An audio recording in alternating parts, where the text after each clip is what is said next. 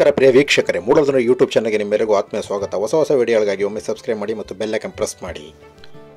ಮೈಸೂರು ದಸರಾ ಹಬ್ಬದಲ್ಲಿ ಅತ್ಯಂತ ಆಕರ್ಷಣೀಯ ಅಂದರೆ ಆನೆ ಮೇಲೆ ಅಂಬಾರಿ. ಈ ಆನೆ ಮೇಲೆ ಅಂಬಾರಿ ಅಂದ ತಕ್ಷಣ ನಮಗೆ ತಟ್ಟನೆ ಜ್ಞಾಪಕ ಬರೋದು ಅರ್ಜುನ ಆನೆ. ಈ ಅರ್ಜುನ ಆನೆ ಅಂಬಾರಿ ಎಷ್ಟು ಬಾರಿ ನಮಗೆ ದಸರಾದಲ್ಲಿ ಒಂದು ರಸದೌತಣವನ್ನು ನೀಡಿರುವಂತಹ ಅಂಬಾರಿ ಅದು. ಅದು ನೋಡೋಕ್ಕೆ ಒಂದು ಲಕ್ಷಣವಾಗಿ ಕಾಣ್ತಾ ಇತ್ತು. ಅದನ್ನು ನೋಡೋದೇ ಒಂದು ಭಾಗ್ಯ ಅಂತ ಅನಿಸ್ತಿತ್ತು. ಎಷ್ಟೋ ಕಡೆಯಿಂದ ರಾಜ್ಯದ ನಾನಾ ಭಾಗಗಳಿಂದ ಯಾಕೆ ಬರ್ತಾಯಿದ್ರು ಜನ ಅಂತ ಇಲ್ಲಿ ನಾವು ಊಹೆ ಮಾಡ್ತಿದ್ವಿ ಅಥವಾ ನೋಡ್ತಾ ಇದ್ವಿ, ಕಾಯ್ತಾ ಇದ್ವಿ. ನೋಡೋದೇ ಒಂದು ಭಾಗ್ಯ ಅಂತ ಹೇಳ್ತಿತ್ತು.